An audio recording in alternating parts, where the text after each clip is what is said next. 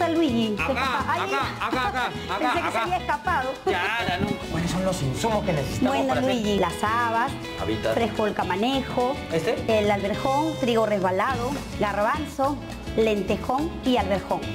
Como tú verás, bueno, es tan contundente y has visto la preparación. En Trujillo se hace los lunes, el chambar es tradicional. Chiclayano que se respeta come su espesado el día lunes Ajá. y lo acompaña con su chichita de. ¡Que viva Chiclayo! Tierra